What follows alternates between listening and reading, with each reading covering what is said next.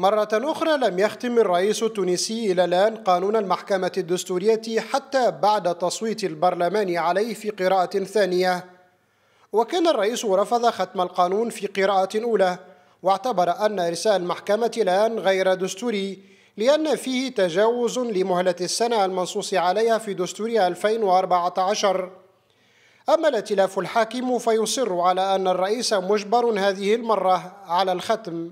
استنفذ الآليات اللي أمامه آه، الكل واستخدم بهم.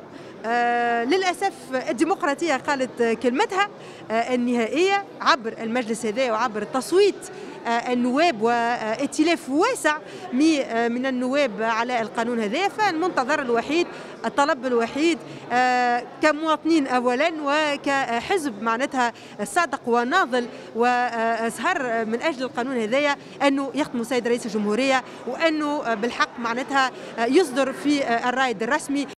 أزمة المحكمة الدستورية جزء من أزمة سياسية عميقة في تونس عمرها أكثر من أربعة أشهر. اندلعت بعد رفض الرئيس قيس سعيد تعديلا حكوميا في موفى يناير الماضي اعتبره انقلابا سياسيا من رئيس الحكومة هشام المشيشي لفائدة ائتلاف حزبي بقيادة حركة النهضة.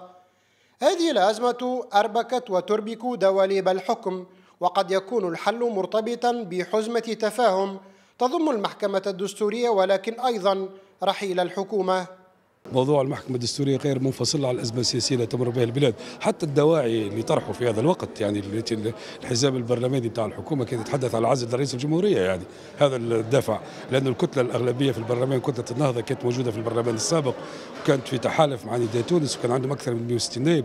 كان ثم إرادة صادقة وتم تمريره منذ البرلمان السابق. ولكن المشكلة بتاع النهضة وحزامها وتوابعها أنهم القوانين يفكروا فيها باش تكون على مقاسم هما. يرى الملاحظون أن تونس بصدد دفع ثمن باهظ جراء الأزمة السياسية الحادة. فأجهزة الدولة من رئاسة وحكومة وبرلمان تشتغل في قطيعة تامة. ما قلل من النجاعة في معالجة أزمات البلاد الصحية في ارتباط بكورونا والاقتصادية والاجتماعية.